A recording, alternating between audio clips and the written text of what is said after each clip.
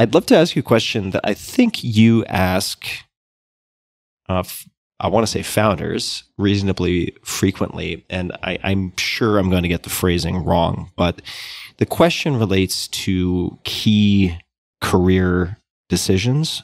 And maybe you can uh, tell me first how you actually ask it, but I would just love to know how you would answer the question of absolute key sort of watershed decisions in your career, if one or two float to the top of the list. We call them crucible moments at Sequoia. Crucible moments. Perfect. And my partner Jim Goetz actually is the one who came up with that. I'm not going to claim credit. Uh, he deserves credit for the the phrase. And we apply it to business context, by the way.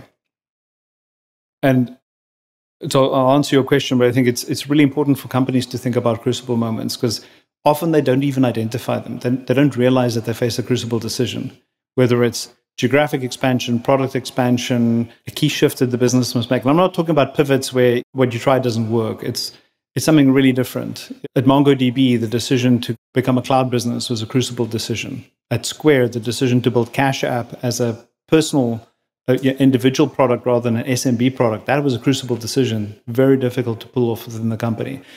But these decisions end up having a huge bearing on the ultimate outcome of a company, and so do they with careers.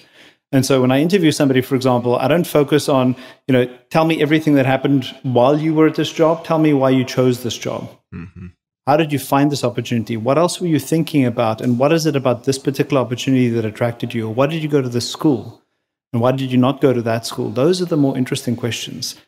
They're also indisputable because that's what you actually did. You know, you can't tell me that, you know, what am I good at? Oh, I'm a perfectionist. Oh, okay, great. You know, so it's just a, a glib answer to the question.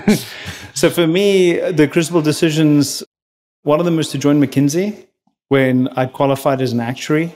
I took a 50% pay cut relative to what I would have been earning as an actuary to join McKinsey and I had to pay back the bursary that I'd gotten from the insurance company. So it was a double whammy financially. And the bursary is effectively a scholarship? College.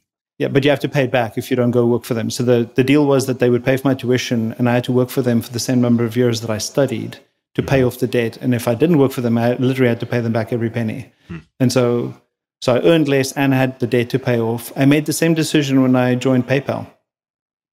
So I had a McKinsey was paying for some of my tuition at Stanford, and I had to pay them back.